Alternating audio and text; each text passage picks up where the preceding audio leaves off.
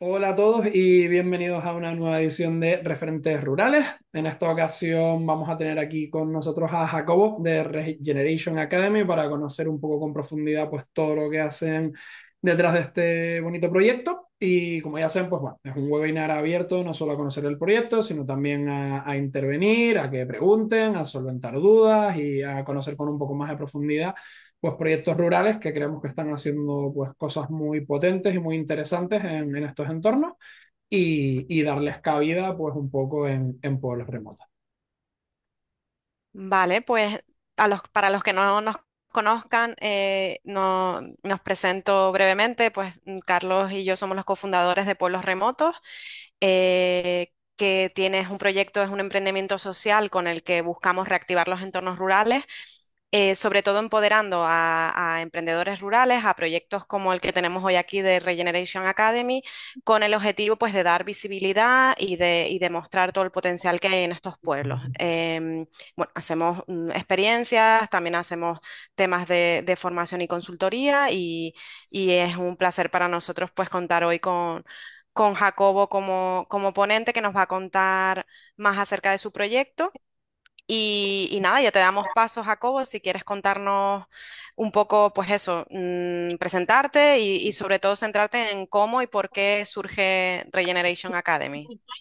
Vale, lo primero, muchas gracias por, por traerme aquí, Carlos y Elsa. Y, y nada, pues, eh, ¿cómo empieza esto de la Regeneration Academy? Pues nace hace unos seis años, ya va a hacer.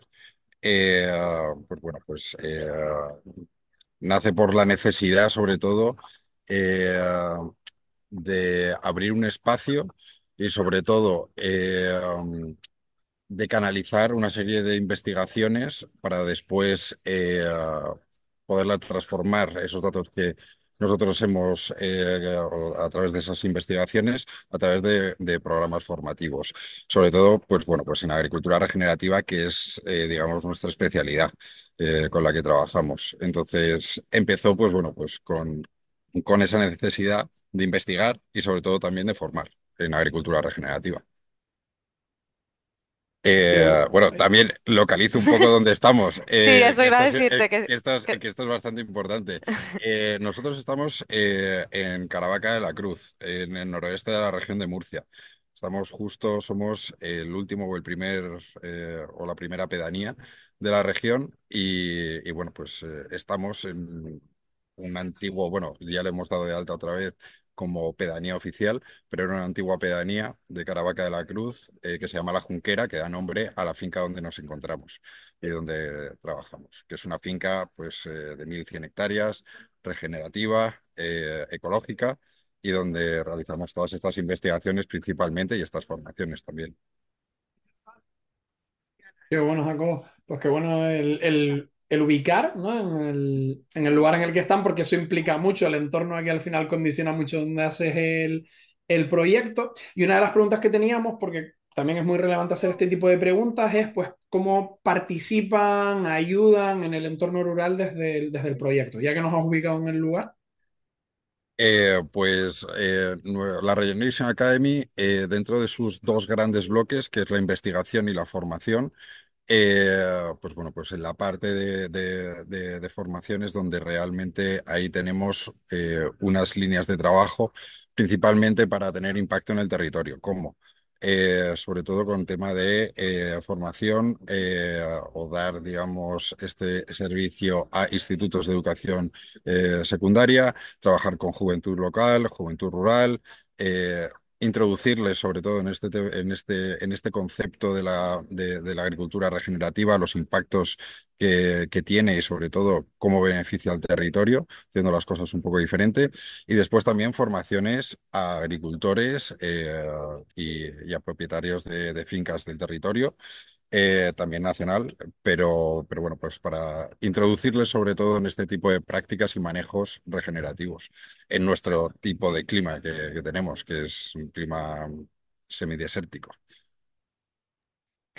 Justo, justo de eso quería, quería preguntarte ahora, ya que nos has situado, nos has explicado un poco en qué consiste o, o los bloques en los que trabajan. Si nos puedes contar, que ya estábamos hablando antes, antes de empezar, pues de, a- de los retos más importantes a los, a los que se enfrentan, pues siendo, siendo eso, un proyecto pionero y, y- y estando en el lugar donde están, esas condiciones meteorológicas, eh, pues cuéntanos un poco a, a qué retos se, se enfrentan o cuáles son los más importantes que han identificado. Totalmente. Eh, ver, nosotros tenemos principalmente el, el reto medioambiental, es decir, en la zona donde estamos nosotros es, eh, es una zona con bastantes peculiaridades.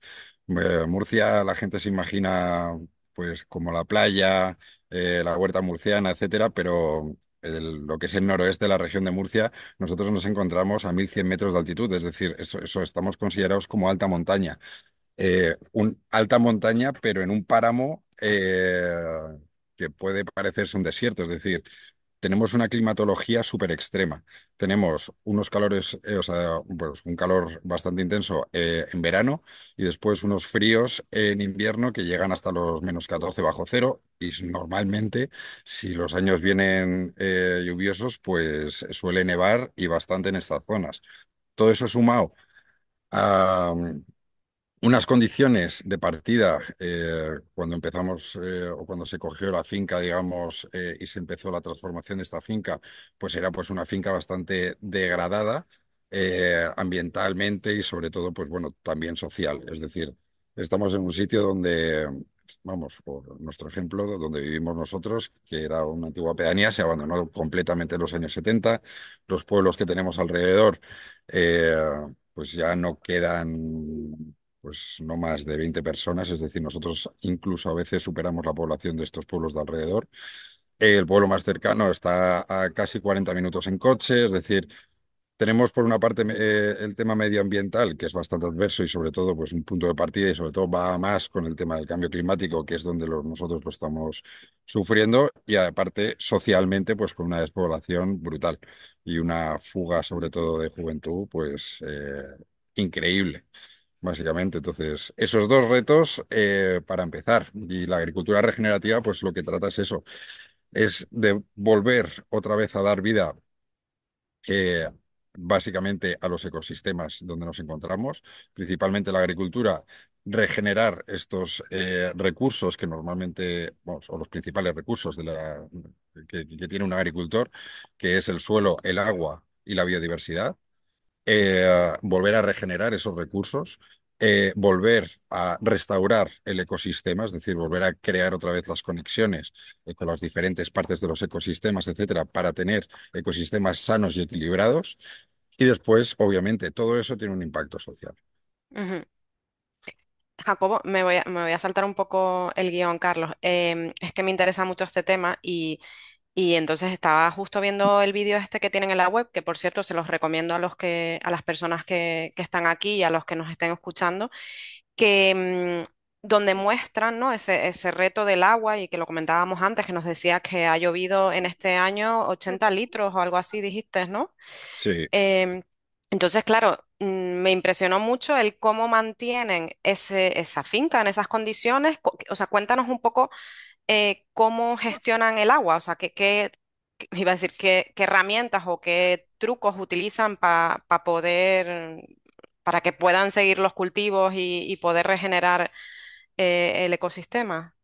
Ah, lo de la lluvia es una cosa que, que, que- además es, eh, bueno, la lluvia, ¿no? El tema del agua en nuestra región es, algo, eh, pues bueno, pues eh, Yo diría como un poco dramático. Dramático ¿por qué?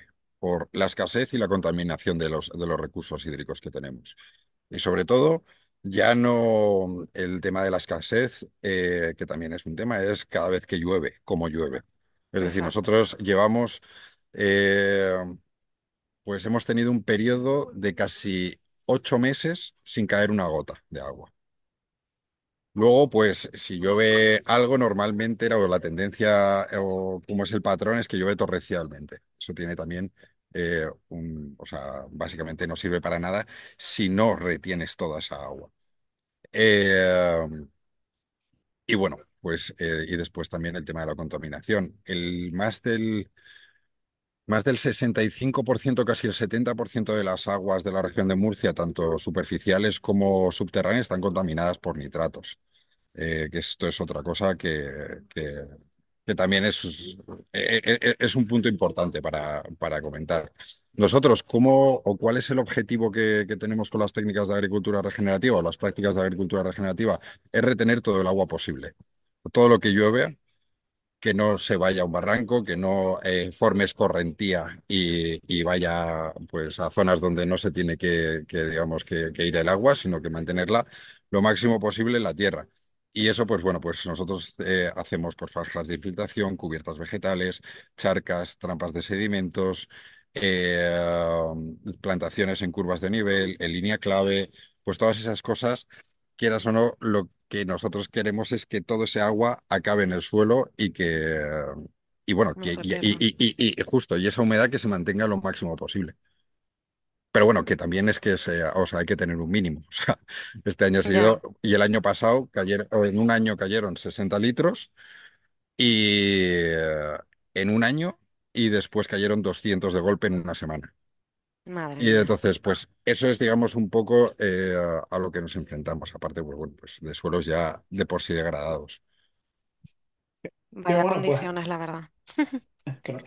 Dale, bueno dale. esto, porque justo creo que también me voy a aprovechar y me voy a saltar el guion ahora que estamos hablando del tema este del, del agua, porque como bien decías, están en Murcia, que desgraciadamente eh, saltó a la fama por toda la contaminación esta del Mar Menor, por lo que tú comentabas de nitratos hace un par de años, que parece que la cosa ha mejorado un poco. Hay, en relación a lo que dices, ¿no? Y como ustedes están promoviendo toda esta parte de agricultura regenerativa, etcétera. ¿Hay otros proyectos en Murcia que tengan este modelo en contra de ese modelo de eh, los invernaderos de plástico, ¿no? Que es lo más famoso, el famoso mar de plástico este de Murcia y ser la huerta de Europa y todo este tipo de cosas. Sí, eh, o sea, empiezan a haber ya más fincas que empiezan a adaptar este modelo. eh, poco a poco. Eh, nosotros sí que fuimos totalmente pioneros en este, en este campo por, por, ya los años que, que lle- que llevamos con el tema de la agricultura regenerativa, pero sí, cada vez hay más fincas que empiezan poco a poco a implementar este tipo de prácticas. Eh, ¿Qué está pasando en Murcia? Eh, pues bueno, pues que con todo el tema del, ca- del campo de Cartagena, el Mar Menor, etcétera, se han puesto ya pues serios en controlarlo, pero bueno, pues este tipo de explotaciones lo que hacen es subir a las zonas altas donde estamos nosotros y ahora es otra batalla que tenemos, eh, porque bueno, pues ofrecen bastante dinero, es bastante rentable, digamos, este tipo de cultivos y la gente alquila con el correspondiente riesgo que tiene, pues eso, nuestras aguas y sobre todo la tierra, porque Claro. lo, lo tienen eh, explotando ahí un, un cierto tiempo y ya después abandonan y se van a otro lado. Mm, Vaya, sí, pues eh, la situación es, es complicada, como nos has contado. Vamos a intentar irnos a, otra vez a la, a la parte positiva y, a- y al impacto positivo que están generando. No sé, Jacobo, si, si ustedes mm, miden el impacto, si tienen algún eh, informe de, de- métricas o, o- o cómo ustedes miden el impacto que generan. Eh, no sé si nos puedes contar un poco, un poco más sobre los resultados. Sí, eh, en temas de, en temas de, impacto, eh, hablamos de, obviamente, nosotros eh, mm, todo el tema de las mediciones que, que hacemos en la finca a través de, este, de estos programas de, de, de investigación que tenemos, pues bueno, pues nos ayudan también a eso. Yo creo que es muy importante lo del tema de medir los impactos y realmente cuantificar eh, qué está pasando. Por ejemplo, eh, nosotros pasamos de tener tierras, esto es hablando en cereal, eh, he, de, he de decir, y sobre todo que he leído ahí un poco la, la pregunta que va eh, relacionado con esto, eh, la finca pasa de, de ser eh, un monocultivo de cereal, donde solo en 100 hectáreas trabajaba una persona con personal temporal en época de cosechas. Y ahora somos una finca que tenemos siete tipos de cultivo diferentes más ganadería extensiva. Entonces, eh, todos estos cultivos, que también es un indicador, eh, después ya si nos vamos a un poco más técnico de la salud del suelo, etcétera, nosotros, por ejemplo, en, pongo un ejemplo, pues luego me preguntáis así a ver otros datos, pero en términos de erosión hemos bajado la erosión un 90% en toda la finca. Eh, y, y subiendo, porque ya después ya vas haciendo pequeñas correcciones, etcétera. Hemos aumentado, que esto es lo más importante, y sobre todo con el clima que nosotros tenemos, eh, la materia orgánica con un punto de partida de 0.7 de materia orgánica en, en los campos de cereal a 1.7 en cuatro años. Eso es una auténtica burrada para, Ujú, el- para, para, para las precipitaciones y el tipo de suelo que tenemos. O sea, eh, eso es un indicador bastante, bastante potente. Después, obviamente, la diversificación de cultivos, la introducción de variedades tradicionales o locales eh, en contraposición con variedades más híbridas o más industriales. Eh, después también, ¿qué nos ha llevado todo esto de la agricultura regenerativa? Pues a ser un pueblo donde vivimos unas 12 personas todo el año. Eh, ya hemos dado de alta como pedanía oficial eh, donde vivimos. Eh, luego, pues, pues bueno, pues ya después, pues toda la gente que pasa por, por, por la finca para formarse. Nosotros en la academia cogemos unos casi 2.500, 3.000 eh, pues, entre estudiantes, voluntarios, personas que, atienden a nuestros cursos, visitas, etcétera. Pues hemos dinamizado también un poco ese, eh, la zona donde estamos y sobre todo es que hay que ver dónde estamos. O sea, que es que es, es un sitio bastante hostil en general. Y, y bueno, pues esa transformación. Luego no sé si tenéis alguna pregunta así más. En tema de biodiversidad, pues bueno, nosotros hemos plantado, eh, or- hemos reforestado o restaurado zonas naturales, que bueno, que eso también tiene su, eh, tiene su historia eh, con este tipo de clima también, pues eh, casi 200.000 árboles en toda la finca. Eh, luego, no sé, más cosas, pues igual. Técnicas de agricultura regenerativa, tenemos más de 80 charcas, más de 13 kilómetros de franjas de infiltración, no sé, muchas cosas. Eh, ya, ya me preguntáis vosotros si queréis eh, algo más específico de, de- de algún tipo de cultivo, algún tipo de, de- otra métrica, para que así hable, si no por la parte de la finca o la parte también de, de educación o de formación que tenemos. Bueno, pues escuchándote ya, ya daban ganas de visitar la zona por cómo siempre la has comunicado y aparte que es un sitio de montaña que a mí, ya como comentamos ahí cuando coincidimos en el programa Mías en el Río Milos de, de León, sabes que la montaña me flipa. Em, que tiene que ser curioso porque también otra cosa que les invitamos a ver en la web es que tienen unos mapas donde han puesto, ¿no? Han ido poniendo la evolución de lo que tú comentas, ¿no? De cómo se ha ido transformando el suelo al- alrededor de, alrededor de la finca. Creo que de la pregunta de Bruni solo quedaría la, la última por que quede completamente respo- respondida, Jacob, de eh, comentaste que era una, una mezcla entre cultivos y eh, ganadería extensiva. ¿Están comercializando esos productos? ¿Qué hacen con los productos una vez los tienen? o sea, los productos, eh, sobre todo para las hectáreas que nosotros tenemos, que son bastantes, eh, todo esto normalmente lo vendemos a, eh, a granel, por decirlo de alguna manera. En estos dos últimos años sí que hemos empezado a explorar la parte de canales cortos de, venta. Que, bueno, pues mm, lleva muchísimo más trabajo, sí que es como abrir otro, pues otro, otro tipo de línea eh, totalmente diferente, etcétera. Y, y bueno, pues eh, venderlo, pues eh, tenemos esta línea por Cloud Farming, no sé si lo conocéis, es bastante interesante, canales cortos de productores ecológicos, bueno, nosotros también, eh, ahora también con, con regenerativo, eh, y bueno, y empezar a sacar nuestra marca eh, como la Junquera, aparte como de, otras marcas que pues, eh, como he dicho, está abierto también pues a espacios para emprendedores que quieran pues empezar en el, en, pues, eh, digamos, en el sector agroalimentario eh, y, y sacar sus productos, etcétera. Genial. No sé, Bruni, si, si te contestó, si, te, eh, si quedó claro em, los, los cultivos que, que tienen. La, Preguntabas también qué cosechas han recuperado. sí, los Eh, no cultivos, cultivos que tenemos, eh, y explico, tenemos cereal, aromáticas, pistachos, almendros, eh, viña, manzanos, huerta. Eh, y después tenemos ahora mismo con los becerros, pues unas 120 y pico vacas en extensivo. Son las únicas vacas que hay en extensivo en la región de Murcia. Eh, y, y bueno, dentro de estas vacas, eh, 30 de ellas son la, vaca murciano-levantina, que es una vaca que es la vaca de, pues de- de- del Levante típica, que, que, bueno, está en peligro de extinción.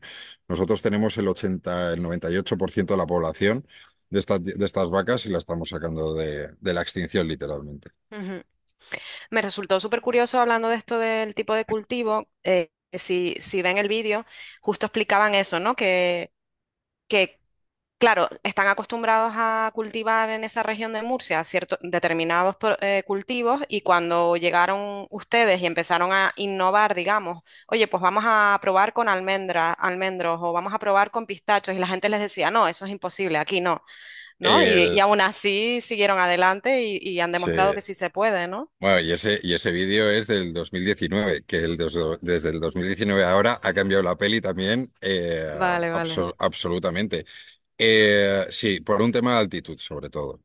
Eh, sobre todo también eh, lo que tiene que seguir cambiando y lo que tiene que estar en movimiento es eh, el sector primario. O sea, Ujú, tiene que, que- tiene que adaptarse. O sea, eh, si nosotros hubiésemos mantenido solamente el cereal, eh, llevaríamos dos años con cero cosecha.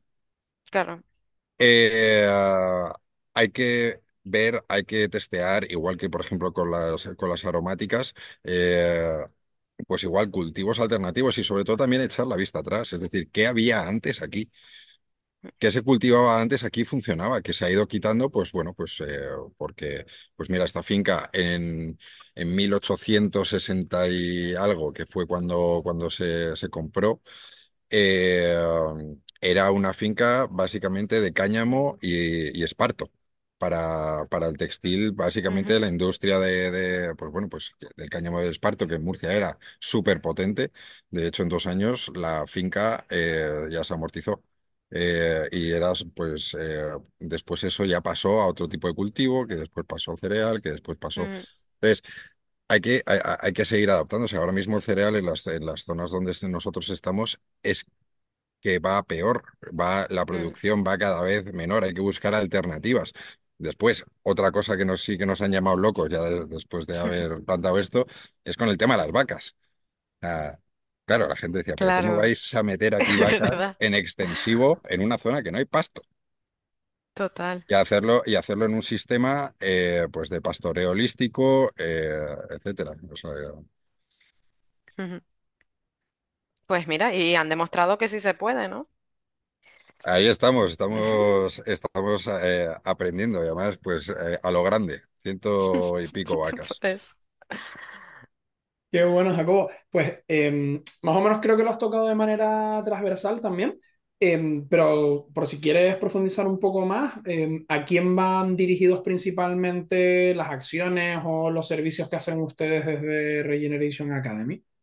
Claro, pues eh, como he dicho, la, la Regeneration Academy, investigación y formación. Investigación, básicamente, eh, estamos muy en contacto con universidades, centros de investigación, eh, tanto a, nivel regional como sobre todo con la parte más del sur y con proyectos a nivel europeo. Nosotros, pues bueno, también damos la posibilidad de trabajar con estas líneas de investigación, con estas universidades, centros de investigación, etcétera, en la finca. Eh, también tenemos programas orientados a, y aquí voy a ir, ya me salto a una parte de investigación, pero me salto al tema de la formación y voy a ir de los más jóvenes a, los más adultos.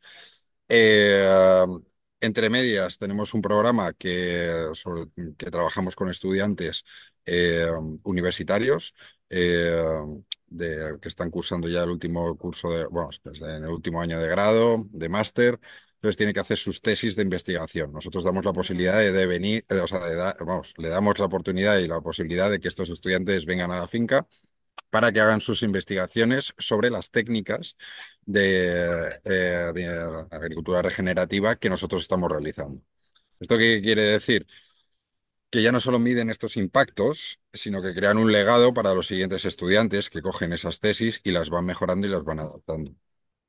A la vez que a nosotros también nos sirve, y esto hay que decirlo, de revulsivo. Es decir, de repente te llega un estudiante, eh, que, pues yo qué sé, de no sé dónde, y te dice, pues mira, yo voy a estudiar la calidad de las aguas eh, de las charcas que tenéis.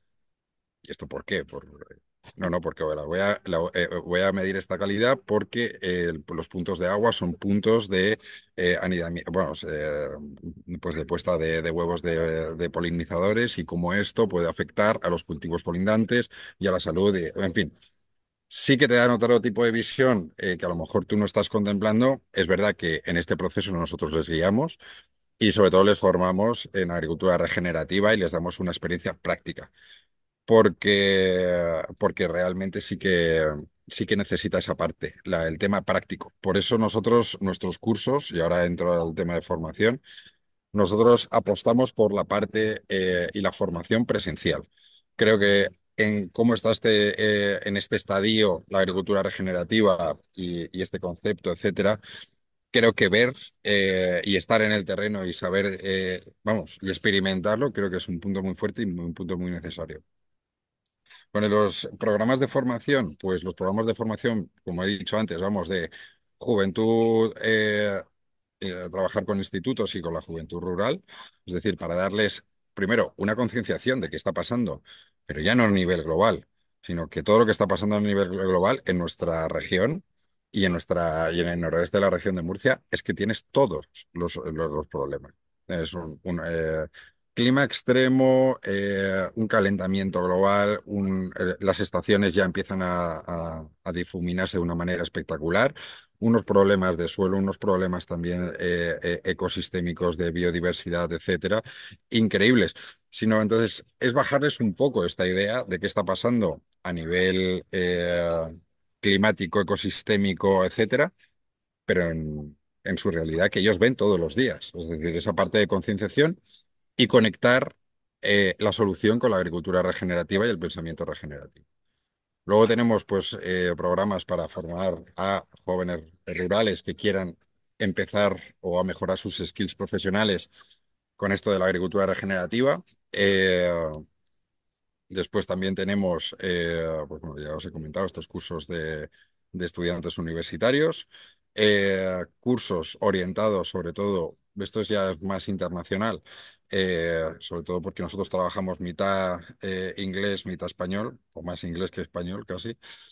Eh, pues sobre todo pues para mm, propietarios, directivos, gente que esté en el mundo de la, del sector agroalimentario, que esté interesado en conocer más y qué son esto, ¿y qué es esto de la agricultura regenerativa? ¿cuáles son los principios? ¿Cuál es el planteamiento? ¿Cuál es la filosofía detrás? Y sobre todo, cómo se lleva al campo. Y ya después, por último, pues ya formaciones para agricultores y ganaderos de la zona que quieran realmente o estén interesados en ir descubriendo poco a poco e interesándose más a ver si pueden ir cambiando un poquillo más su, su manera de hacer las cosas. Eso es toda la gama de, de- de formación y de, y- y- y de, y de investigación que tenemos. Y ya por último, por ya darle un, un brochetazo así rápido, eh, también tenemos una parte bastante activa con grupos de como es de, no de presión, pero sí grupos y alianzas a nivel europeo eh, con otros agricultores y ganaderos para mantener vivo un poco eh, pues la parte de, de la agricultura regenerativa y los principios eh, que se tienen que mantener. Y bueno, pues con Bruselas, con Bruselas al final, pues eh, llevarle también estas píldoras que luego se van metiendo poco a poco en la PAC y en otras políticas. Vamos, que, que están bastante entretenidos con, con todo Sí, lo que hacen, madre mía. sí, Yo sí. tengo una pregunta concreta y, y ahora también te, te hago la pregunta de Bruni.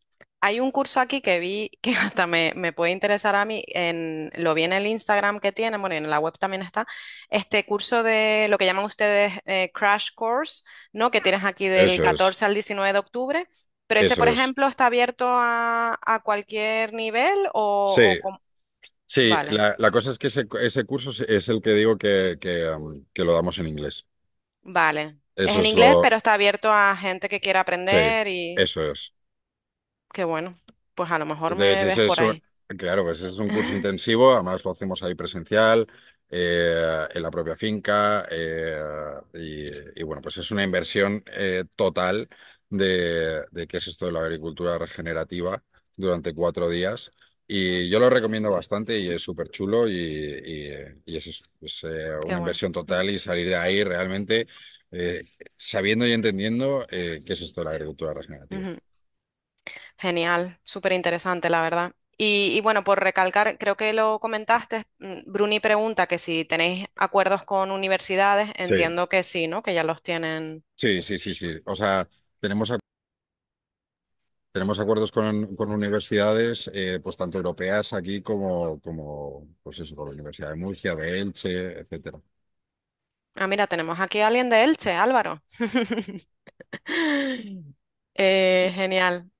Pues Muchas gracias, Jacobo, sí, Y si- simplemente yo creo que eh, has hecho una exposición ahí de que, como, vamos, proyectos formativos, como decía Elsa, no se aburren, o sea, tienen un montón de cosas, pero veo que aparte de los proyectos formativos, y creo que también has comentado algunos de manera transversal, tienen otros proyectos como restauración de paisaje, Viva el Campo, la parte de investigación y los días de, de plantación en familia. No sé si quieres Eso es. comentar un poco en, en qué consiste cada uno. Sí, Viva el Campo es lo que he comentado, es trabajar con los institutos de, de educación secundaria eh, para, pues eso, acercarles eh, la problemática medioambiental y darles como solución eh, la agricultura regenerativa, sobre todo que este es el, el vehículo perfecto para hacerlo. Eh, después tenemos ya pues eventos así un poco, pues eh, los días de plantación. Esto es un programa que lo llevamos con Patagonia, que, que, bueno, son actividades puntuales. Eh, muchas veces también metemos también a, a los chavales aquí de la, de la zona, etcétera, pues para que ayuden al tema de y se conciencien también un poco y que sean acti- y que sean parte activa del proceso de restauración. Eh, pues bueno, pues con, con con diferentes tipos de plantaciones. Esto, pues en la finca tenemos otro proyecto que es el Ecosystem Restoration Camp, el campo altiplano, eh, que están más focalizados en el tema de la restauración eh, de ecosistemas de- degradados, que ese es otro proyecto, si quieres te, te- te digo. Pero sí, después en la academia hacemos cosas puntuales, hacemos eventos puntuales, hacen- eh, formaciones también a medida, si, si alguien quiere organizar un grupo, etcétera. Eh, nosotros hacemos eh, y creamos ahí un, un- curso a medida para las necesidades de, pues, eh, de los que quieran venir a, a- ver y entender qué es esto de la agricultura regenerativa. O sea que ya después de los programas oficiales, ya después sí que tenemos una, una, una gama un poco donde podemos jugar un poquito más con el tema de la formación ya a medida. Qué bueno, Perfecto. Em, Jacobo, justo que estabas mencionando, ¿no? Has mencionado varias veces el tema de los jóvenes en el rural, de intentar, ¿no? Concienciarles, eh, incentivarles. Em, te quería preguntar eso, porque nosotros, por ejemplo, cuando trabajamos en el rural y que ahora nos estamos metiendo bastante con el tema de juventud, nos llevamos pequeños grupos de, de jóvenes universitarios a entornos rurales para resolver retos que tienen allí los emprendedores eh, locales. Y uno de los retos que solemos trabajar con ellos es el tema del relevo generacional, ¿no? ¿Qué, qué podemos hacer para que, para que esos mm, oficios tradicionales o, pues, perduren en el tiempo? ¿Qué podemos hacer para que sean más innovadores? Y un poco te queríamos preguntar desde tu perspectiva, ¿cómo ves este tema del relevo generacional? Si crees que, Pues que la juventud... Eh, eso es, eso es eh, la pregunta, literalmente. Eh, el relevo eh, eh, generacional que, tenemos aquí en el sector primario tiene unas barreras de entrada que, que son bastante, o sea, no insalvables, pero bastante grandes, que no pasa en otro sector. Es decir, aquí tenemos, si pues si te quieres dedicar al tema de la agricultura, si tienes una herencia eh, familiar, es decir, si tu padre, si tu familia ha estado ligada con el campo, con etcétera, y aquí hay dos, vías, o te han transmitido ese conocimiento, o te han dado eh, una infraestructura es decir, me meto también dentro de la infraestructura, pues ya pueden ser tractores, maquinaria, tierra, etcétera. Ahí hay una barrera, claramente. Hay una barrera también de formación, es decir, eh, si no te lo han transmitido, eh, por- no te, no te ha llegado. Es- después está la parte ya más técnica, que estos son ingenieros que, pues bueno, pues la, eh, del mundo más universitario, normalmente eh, pues eh, van a ya empresas, etcétera, y que es un, conocimiento un poco más técnico, pero lo que es, digamos, el sector primario agricultura y realmente meterte en el, en el sector de golpe, hay esos dos, esas dos barreras que son unas barreras bastante difíciles. Después, puedes encontrar la- la- las subvenciones, digamos, o las ayudas por joven agricultor, pero esas ayudas están hechas para mantener, eh, eh, digamos, eh, explotaciones familiares o pequeñas y medianas empresas agrícolas, ¿vale?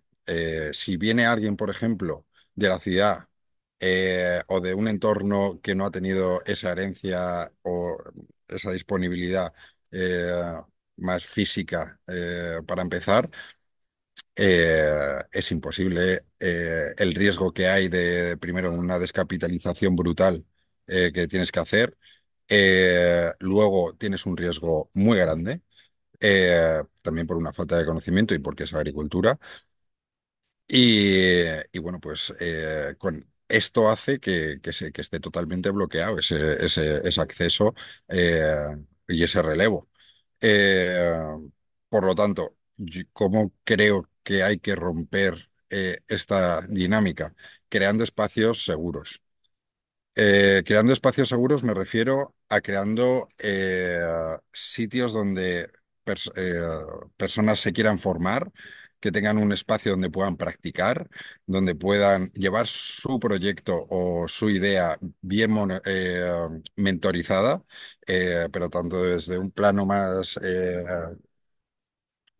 teórico y un poco más eh, numérico a ver cómo realmente funcionan aquí la, eh, pues el tema de cómo se organiza el tema más, más numérico a cómo lo tienes que hacer en el campo y qué, y, qué riesgos tienes, cómo se tienen que hacer bien para evitar este tipo de riesgos, etcétera. Y después un acceso al mercado, que esas, eh, que ese es un tema también bastante importante, que, o tienes esos canales de venta ya machacados y estás muy dentro del mundo del sector primario, etcétera, o eso también es una barrera. Entonces yo creo que crear esos espacios donde ayudar a estas personas que están interesadas eh, en sumarse al sector primario, pues creo que son claves, claves, sobre todo contando con alguien que te pueda hablar desde su experiencia. Brutal, pues los puntos sobre las IAs ahí bien claritos. Pues yo tengo alguna más, porque esta era un poco la que, la que teníamos como a modo de cierre, pero yo fui apuntando algunas cosas en lo que ibas hablando porque han salido algunas cosas interesantes y no sé si Bruni, Álvaro o, o Gon tienen alguna más, o Elsa.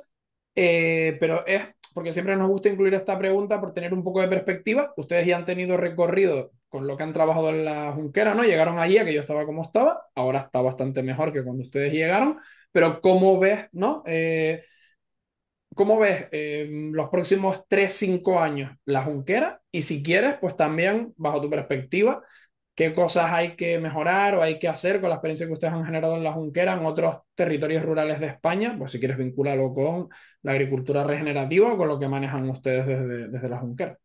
Sí, total. Eh, pues yo como lo veo, Eh, pues primero, la Junquera está en un continuo movimiento, eh, pues constantemente. Y pues ¿cómo lo veo? Es una muy buena pregunta.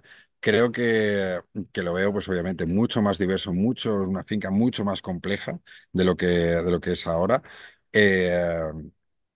Y bueno, y también rompiendo muchas barreras y muchos límites que, que, que, nos faltan. No sé exactamente, porque puede, o sea, de aquí a cinco años ha cambiado tanto eh, o sea, de estar viviendo tres personas, ahora doce, eh, solo en cuatro años, eh, todo el año, eso ya es un cambio brutal. Si me pongo dentro de otros cinco años, pues no lo sé, a lo mejor seremos mm, 30 personas o, o- bueno, ahí tenemos ahí un tema de espacio que tenemos que seguir reconstruyendo eh, y rehabilitando los edificios.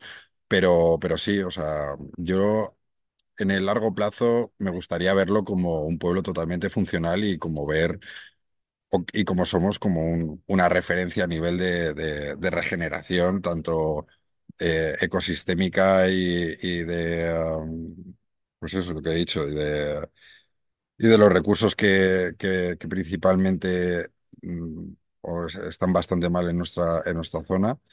Y, y nada, y después, la segunda pregunta que me has dicho, que se me ha olvidado. A nivel de todo el territorio Ah, a nivel, nacional, si ah, quieres y claro, tal, que yo, cómo que- lo ves con esa yo, perspectiva. yo creo, yo creo que, que- que es un cambio que tiene que, que seguir. Y, y sobre todo tiene que, o sea, la agricultura regenerativa da un, o abre una ventana eh, a un tipo de agricultura que no es, que como la gente cree que es una locura, eh, es, eh, es un cambio de manejo, eh, pero es un cambio de manejo con sentido común, que nace de los agricultores. No nace de una empresa o nace de agricultura de precisión, de tal y cual. Eso lo puedes meter, si quieres, como, como extra para medir. Pero es un cambio de manejo y es un manejo que ha nacido de, de- de abajo, de los agricultores, que puedes implementarla y, estar, y, empezar a implementarla poco a poco. Ya tengas un cultivo, ya lo tengas eh, o tengas una tierra y la quieres dar eh, una vuelta, si ya tienes algo plantado, si, no- si empiezas desde cero, si tienes una hectárea o si tienes 3.000. O sea, es para todo el mundo. Eh, no es tan compleja. Las técnicas son para todo el mundo. Es una agricultura para, para agricultores, básicamente, y que los impactos eh, son brutales. Y, y bueno, y al final lo que te hace este tipo de agricultura es vincularte con la tierra y con el territorio donde estás. Y, y yo creo que eso se va a dar poco a poco. Eh, Obviamente va a ex- seguir existiendo la agricultura industrial eh, y más, eh, digamos, eh, intensiva y extractiva, pero yo creo que en estos 20 años que vienen, yo creo que va a haber este renacer y resurgir un poco de, esta visión diferente, pero por un tema también de resiliencia y de, y de adaptación, básicamente, que la industrial eh, en muchos puntos no tiene. Pues sí, pues ojalá sea así como, como comentas, porque sumamente necesario ver ese cambio. Mm, queremos darle espacio si tienen más preguntas. eh, Bruni, Gonzalo, Álvaro, no sé si alguno se quedó con alguna duda. La verdad que nos has contado muchísimas cosas, Jacobo, súper interesantes. Dale Em, Álvaro, que creo que Álvaro tenía una por ahí. ah, vale. Sí, habrán micro, sin problema. Hola, Jacobo, encantado. Muchas gracias por la, por la charla. Mi pregunta es, a mí me interesa este tema, he visto varios vídeos y, y- y cosas y tal, y mi sensación es que hace falta como muchísimo conocimiento, porque cada situación de cada agricultor y tal puede ser muy distinta, que hace falta muchísimo conocimiento de distintas especies, de la situación donde estás, de, de todo esto, para poderla aplicar, ¿no? Eh, Entonces la pregunta es, ¿cuá- ¿a partir de cuánto o cuánta formación necesitaría un agricultor para ser autosuficiente y hacer la transición a este tipo de agricultura? eh, Lo que, lo que has mencionado es una parte súper importante, que es el contexto. Es decir, hay que contextualizar totalmente eh, dónde estás, incluso tu propia finca. Tu propia finca puede ser muy diferente. ¿Esto qué significa? Que no se necesita un conocimiento tan técnico. Tienes que conocer básicamente qué está pasando en tu, en tu finca. ¿Cuáles son los problemas que, que- que estás teniendo? Y se pueden vincular muy bien con el tema del suelo. Con el tema del suelo principalmente es eh, o cómo se puede empezar es por ver un tema si tienes erosión, eso se ve perfectísimamente. Eh, si tienes problemas eh, o qué, co- con qué estás trabajando, que es con el suelo, que con un análisis de tierra ya te puede dar muchas pistas por dónde empezar a, a- a tocar. Eh, temas de biodiversidad, ¿qué biodiversidad tienes? Si tengo, si tengo desequilibrios, que un desequilibrio puede ser una plaga o una escasez eh, de polinizadores, eh, de, de- otro tipo de, de- fauna y, y- y de flora, eh, que eso mm, no se necesita tampoco ser biólogo, sino que con ese conocimiento y viendo y vinculándote con, con, con la finca, sí que los vas sacando poco a poco. Y después, ¿cómo gestionas tus recursos hídricos?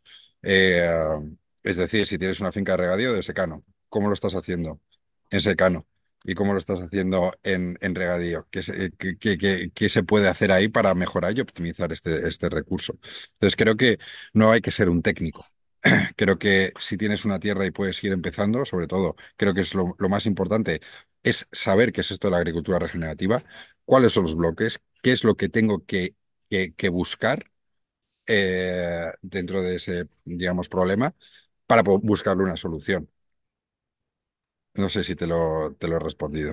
Bueno, sí, o sea, parte de- del problema, como dices, es conocer cuál es el problema. Y eso, para eso ya hay que, para eso ya hace falta un cierto conocimiento. Pero una Pero, vez sabes cuál es el problema, vale, es la parte del polinizadores o claro, suelo o tal.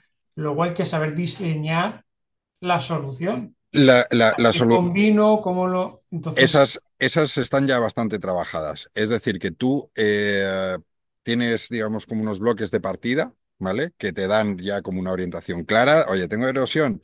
Pues mira, pues o eh, franjas de infiltración eh, o hago un diseño en plantación en curva. O sea, tienes como un set, ¿vale? que ya después con ese set dices, vale, a ver, eh, tengo este cultivo, ¿es, le- es leñoso o, o- o no es leñoso? ¿Cómo lo puedo hacer? Pues venga, eh, pues puedo coger esto y puedo coger lo otro y puedo implementarlo. Aquí ya después tienes, como te digo, esos grandes bloques, pero después, con la experiencia como nosotros hemos hecho, hemos ido como adaptándolos un poquito, ¿vale? claro. Oye, pues haciéndolos un poco nuestros. Oye, pues mira, ya la franja de, de infiltración que hacemos aquí, pues le vamos a plantar aromáticas eh, para los polinizadores. Venga, pues venga, pam. Pues lo, eh, lo, lo añadimos. Eh, vamos a hacer otro, otro tipo de diseño, vamos a hacer otro tipo de toque aquí o allá. Y eso es ahí como nosotros vamos a haciéndolo un poquito más, pues digamos, a, a medida. Ajá. Y esos bloques que comentas de grandes rasgos, las principales soluciones que se aplican, eso está, o sea, hay manuales por ahí, hay... eh, Sí, puedes encontrar y sobre todo, eh, nosotros también ofrecemos eh, esta formación que también te ubica mucho, sobre todo antes de, de empezar a implementar este tipo de técnicas, hay que tener, yo creo que muy claro cuáles son los bloques y cuáles son, ¿cómo decirlo? ¿Cuál es el principio detrás de todo esto? Es decir, ¿qué es esto de la agricultura regenerativa y qué impactos vamos a querer eh, tener en nuestra finca? Y a través de eso vamos a contextualizar y vamos a encontrar eh, este tipo de técnicas. Eh, agricultura regenerativa se puede aplicar a todo tipo de clima, suelo, eh, altitud, lo que quieras, ¿vale? Es ya un poco llevándotelo a tu terreno, ¿vale? Entonces aquí pues nosotros hacemos eh, una serie de formaciones. Agricultura regenerativa ibérica también hace otras formaciones, también más, eh, si tengo ganadería, pues eh, voy para allá. Eh, hay, cada vez hay más, digamos, proyectos más vinculados con la formación que, que te pueden interesar más o menos. Nosotros, por ejemplo, pues igual. Hacemos formaciones más genéricas, pero también hacemos generaciones más concretas. Es decir, eh, gestión de recursos hídricos. En noviembre eh, sacamos curso de eso. Pues vamos a estudiar cómo hacer eh, o cómo son las prácticas en gestión de recursos hídricos con, pues eso, plantación en línea clave, charcas, trampas de sedimento, cubiertas vegetales, tal, tal, tal. O sea, es buscar un poco también eh, en agricultura regenerativa ibérica, también os, os recomiendo, que es como el que, la asociación que da un poco más de, también de voz y, y nos aglutina. Veis ahí, tienen un mapa súper chulo donde tenéis todas las fincas regenerativas y, hay- y- y lo que ofrecen. Hay unas que tienen formación, hay otras que tienen eh, que puedes ir a visitarlas, hay otras que tal. Eh, qué bueno. o sea que sí que tienes un amplio, un amplio abanico ahí para, para buscar y adaptar. De hecho, lo, lo hemos compartido aquí en el, en el chat, Álvaro también, el manual que tienen en- de agricultura regenerativa y bueno, lo, lo que acaba de comentar Jacobo, que también se puede buscar. Eh, en ese sentido, Jacobo nos preguntaba, bueno, eh, Bruni te da la enhorabuena eh, y te dice que, que a ella le encantaría transferir todo eso a, a Icot de los Vinos, que Icot de los Vinos es un pueblo aquí en el norte de Tenerife, donde hicimos nosotros nuestra primera experiencia, donde lanzamos pueblos remotos, que ahí participó pues Bruni, que está conectada, y Álvaro también, que son de Ah, la genial. comunidad de, de- de pueblos. Entonces, esa, esa cuestión que plantea Bruni, o sea, no sé si ustedes hacen acompañamiento a otros territorios o en ese caso tendrían que ir las personas interesadas hasta allí. ¿Cómo funcionaría en eso, eso sentido?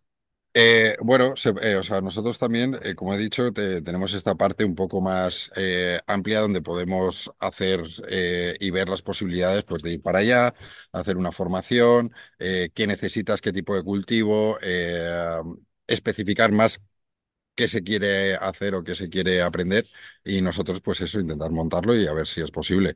Normalmente nosotros recibimos, eh, digamos, o, digamos, o planteamos la formación en la Junquera, pero no estamos cerrados también a ir a otros lugares y hacer formaciones en otras fincas, claro que sí. Qué bueno, vale, genial. Pues ahí está, Bruni, la, la posibilidad. No sé si quieres comentar algo, Bruni, o te, te quedó claro, vale. Pues ya estamos llegando al final. Eh, por nuestra parte, agradecerte un montón que hayas estado con nosotros compartiendo tanta, tanta información y además súper interesante todo. Eh, no tengo finca, pero ya me dan ganas de, ponerme a, buscar una, aunque sea pequeñita. Bueno, de mi abuelo tengo algunas ahí en la isla de La Gomera, que a ver si, recupero. Y, mm, y nada, y darte eso, eh, la enhorabuena también mm, por el proyectazo que tienen, eh, que sigan adelante, que es muy necesario y, y que son todo un ejemplo a, a seguir. Y no sé, Carlos, si quieres comentar algo más.